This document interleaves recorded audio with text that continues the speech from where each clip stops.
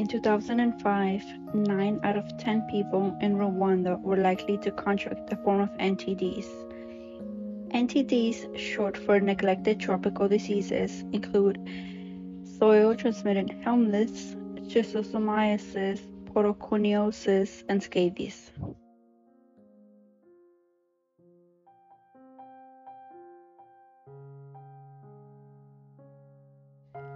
Emmanuel Nirishema, a 26-year-old potato farmer from Gasabo, Rwanda, was devastated after his wife of five years left him.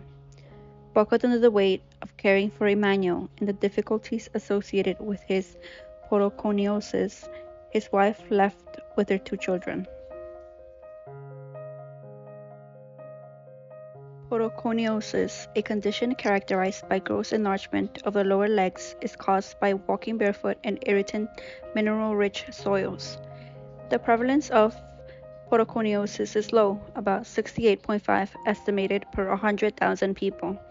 While it is widespread throughout Rwanda, it indicates that suitable environmental conditions for podoconiosis are present throughout the country.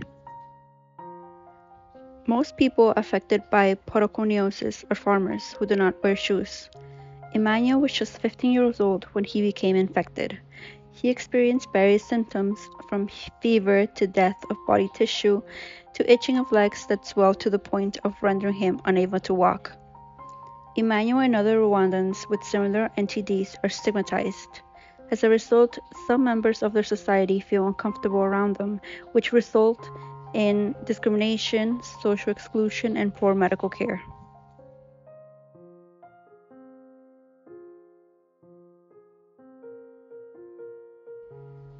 Nisayima John Damascene, also affected by podoconiosis, explains We are stigmatized due to podoconiosis, and some members of our society feel uncomfortable around us. So we are appealing to our society to stop discrimination against us. People with this condition can work and use their brains like healthy people. The only problem we have is the lower legs. Otherwise, we are normal.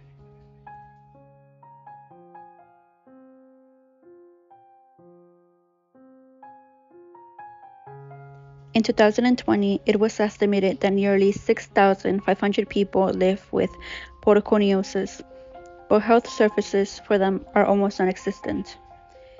People affected by NTDs tend to ignore the symptoms until they become severe, thus complicating medical treatment.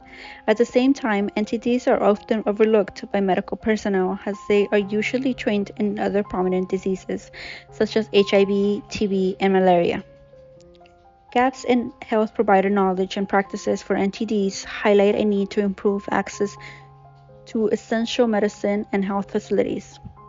In addition, NTD focused training sessions for practicing health providers are necessary to minimize the burden and stigma of affected individuals.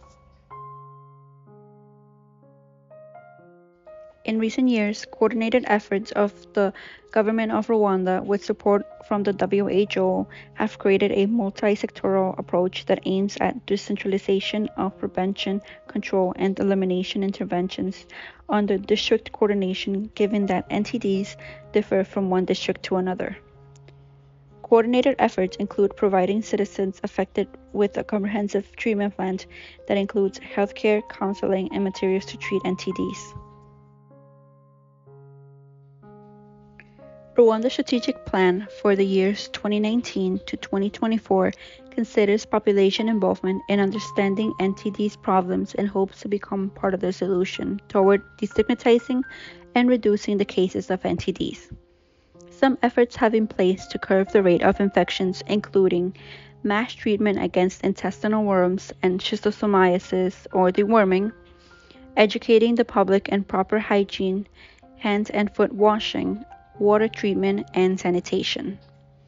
As Rwanda's progress towards its goal of ending NTDs by 2030, Emmanuel's story demonstrates the need to continue to address NTDs across multiple sectors such as education, nutrition, water, animal, and environmental health.